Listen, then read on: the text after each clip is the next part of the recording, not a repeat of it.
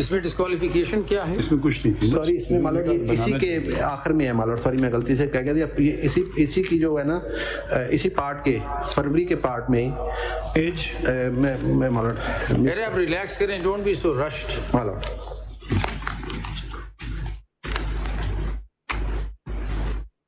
Third part میں تو ڈائسینٹنگ opinion ہے۔ اسی میں ہے مالوٹ یہ اسی میں۔ کب میں ہے؟ سبھی میں ہوگا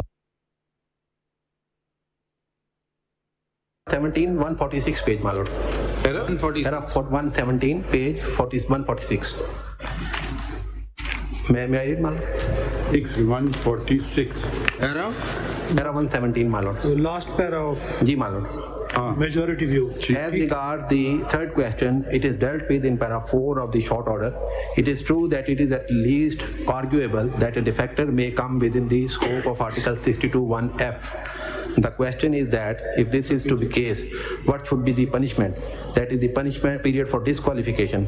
As noted above, if a member who cast a proscribed vote in a de-seated, he can seek re-election in the by-election. If he chooses to contest the same, he may do so as an independent or even on the ticket of those who sought, engineered, welcomed, brought about and or rewarded the defection.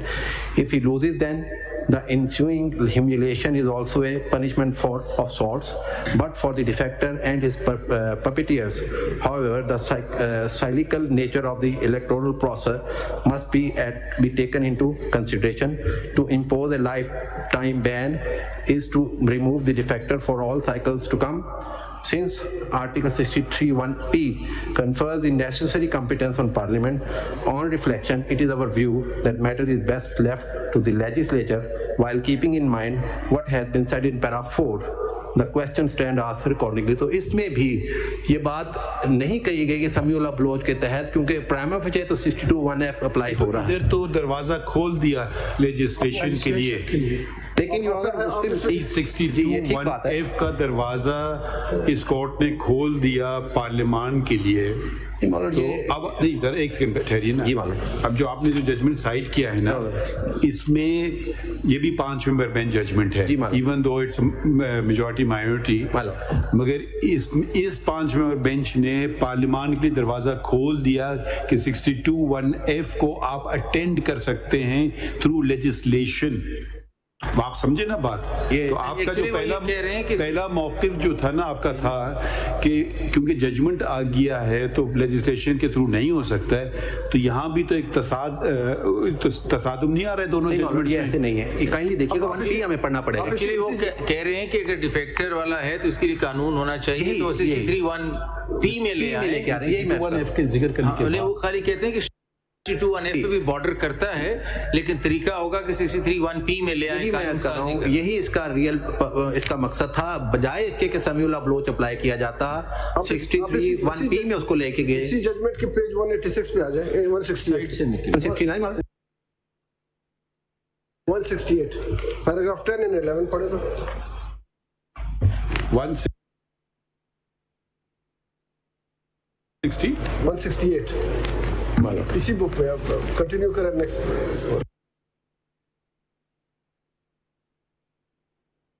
باقی سارا آئین انگریزی میں ہے۔ امین کے لیے انگریزی کا لفظ کیا ہے؟ چیف جسٹس کا سفسار۔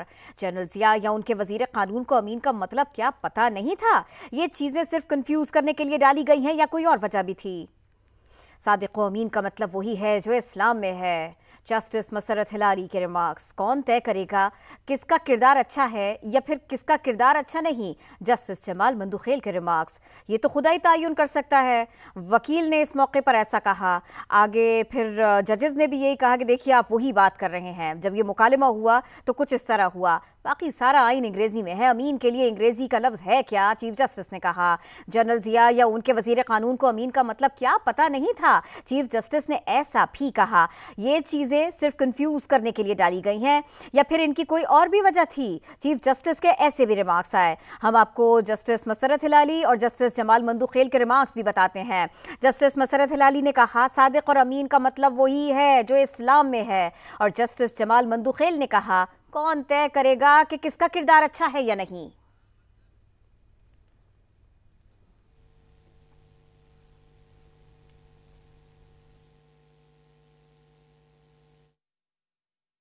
مورل ٹرپیٹیوڈ اور for some other reason article sixty two F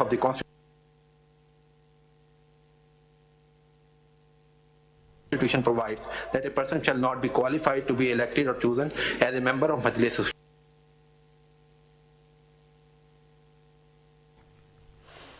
باقی سارا آئین انگریزی میں ہے۔ امین کے لیے انگریزی کا لفظ کیا ہے؟ جنرل ضیاء یا ان کے وزیر قانون کو امین کا مطلب کیا پتا نہیں تھا؟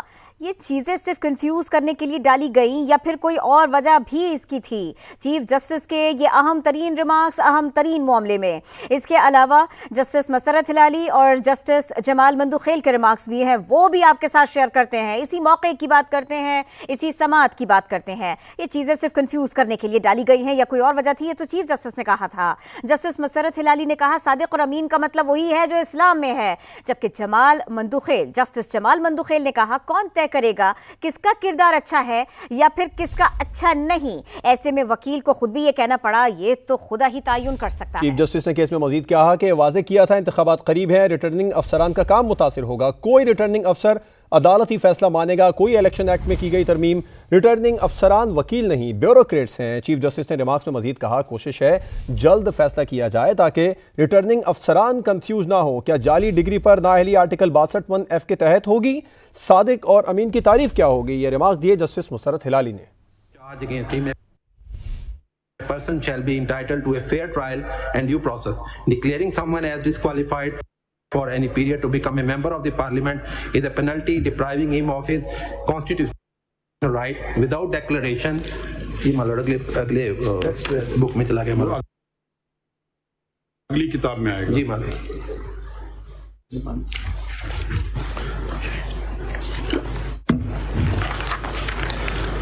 میں پڑھ دیتا ہوں by competent court of law after adopting due process through fair trial determining any right and obligation of person would be against his fundamental right guaranteed by the constitution.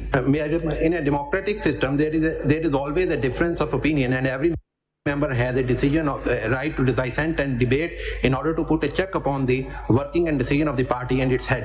Merely on the apprehension that a member has betrayed his party and thereby depriving him from his right of expressing views and the right of dissent will will be against the basic concept of democracy enshrined in the constitution.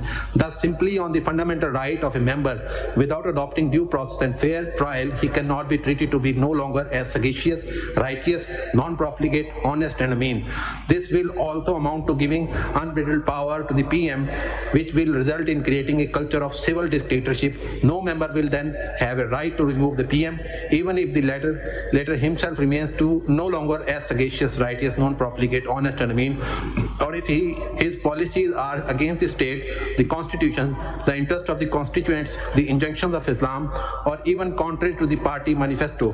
For these reasons, the constitution makers intentionally did not include the word disqualification of a member for any period of time in 63A of the constitution. Uh, may I read, my lord? Continue, my we got it.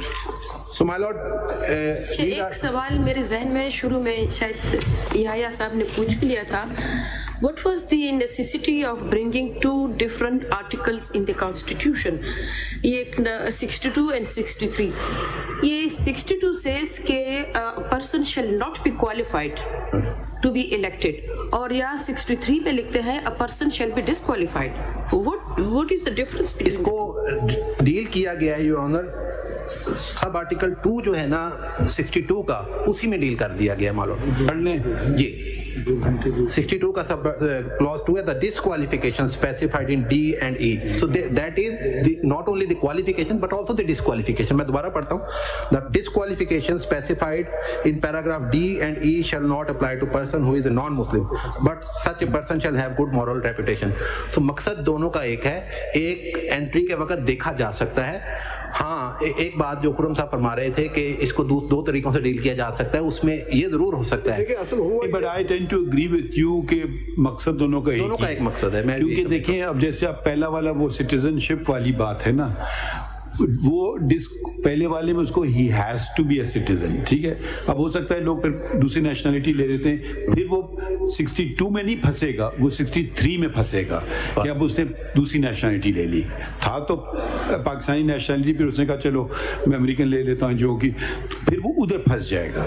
تو میرے خیال میں اتنا اس پہ فرق نہیں پڑتا ہے۔ دونوں ہی ڈسکوالیفیکیشن اور کوالیفیکیشن اس کو آپ نے ایڈریس نہیں کیا۔ دیکھیں میں declaration is coming from another source from another court constitution is recognizing that there is a declaration coming from some court once the declaration is there then he is not sagacious and then is disqualified so constitution is relying on a declaration coming from some source some court of law نا that declaration itself کسی case کو نکال لیں nomination میں ہوگی، وہ کسی act کے تحت ہے نا اس کی مس ڈیکلریشن ہے، وہ بھی کسی ایکٹ کے تحت ہے۔ So that actual declaration is arising out of some violation of some law. Now, that declaration is then borrowed by the Constitution, and the Constitution says the new stand is qualified. Samuel Baloch says that once that declaration stands, you stand disqualified. Now, there could be a law introduced by the parliament saying that declaration of law, which is arising out of a violation of a law, is being given a period. That's five years. So that also sort of comes into Article 62.1f with the declaration that such a declaration which is given under the law, it's not under the constitution, under the law will have a time frame. That's five years. So five years, so therefore, one argument is is that you don't require the amendment of the constitution because the disqualification is inherently under a law, not under the constitution. Hence, correction of the law or time frame given to a law would be read into that declaration which is being borrowed by the constitution in 62.1f. یہ میں آپ سے کہہ رہا ہوں کہ five years could be easily brought in to 62.1f through that اگر تو صرف یہ کہا گیا ہونا کہ اس شخص کے نومینیشن پیپر ریجیکٹ کیے گئے اس وجہ سے کہ اس نے اپنی ڈگری دے دوسرے یہی ڈیکلیریشن ہے دیکھیں all over in all the declarations it says کہ آپ نے مس ڈکلیئر کر دیا ہے آپ نے ایسٹس چھپا دیے ہے they're actually identifying an event. And then we are building on that event کہ اس کی وجہ سے کیونکہ اس نے ریٹرن میں اپنی پراپرٹی شو نہیں کی اس لیے یہ امین نہیں ہے ٹھیک سو ڈیکلیریشن تو صرف اس حد تک ہے کہ آپ کی نامینیشن پیپر میں یہ چیز کم ہے ایفیڈیوٹ میں یہ چیز کم ہے آپ کی ایسٹس میں یہ چیزیں نہیں ہیں it's the event the rest is all construction construction کر کے ہم کہہ رہے ہیں نا سو ڈیکلیریشن تو صرف اس حد تک ہے اور ڈیکلیریشن آپ دیکھیے نا کوئی ڈیکلیریشن نکال لیں وہ ڈیکلیریشن کسی لا میں ہے نا وہ کہہ رہے کہ جی آپ کا nomination paper nomination paper is not in the constitution it is from the election act اور روپا وٹ ایور تو ڈیکلیریشن جو کورٹ دے رہا ہے، وہ لا میں دے رہا ہے۔ تو پھر لا خود کہہ رہا ہے کہ ایسی کوئی بھی ڈیکلیریشن جو لا میں ہوگی، وہ پانچ سال کی ہوگی۔ تو پھر وہ کیوں نہیں پڑھی جا سکتی